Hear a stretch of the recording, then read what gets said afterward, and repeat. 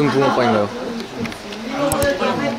슈붕 팥붕 저 원래 팥붕파였는데 요즘에 슈붕이 더 좋은 거 슈붕이 좀더 약물내고 많이 먹을 수 있어요 팥이 좀더 그 꾸덕꾸덕하잖아요 슈붕 팥붕 안지 사세요 예? 안지 사세요 아, 슈붕 팥붕이라니까 팥붕.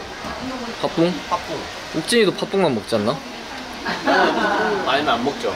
근데 저는 슈붕도 좋아요. 음, 나도 둘 다 좋아 난, 난 팥붕 형, 형도 둘 다 좋아해요? 둘 다 좋아 피붕, 피붕 먹어서 피붕. 아우. 국진이는 온갖 음료 속에 섞어 먹는 걸로 알고 있거든. 붕어빵도 근데, 근데 섞어 먹는 건또 다르죠. 왜냐면은 단팥 슈, 슈빵.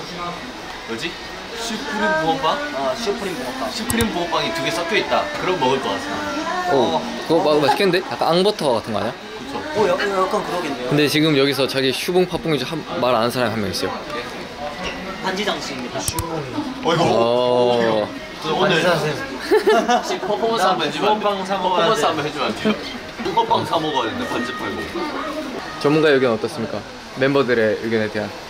저는 팥붕 슈붕은 이제 취급하고 이제 피, 피붕 이런 거는 붕어빵 어우 머리 거 저분은 뭐 있으면 붕어빵 사시미 칼로. 해 떠먹는 거 제가 봤거든요. 붕어빵 이렇게 유튜브에 검색해가지고 붕어빵 비늘 제거하는 법 이런 거 치고더라고 붕어빵 썰어가지고 물에 넣어서 먹던데 맞아.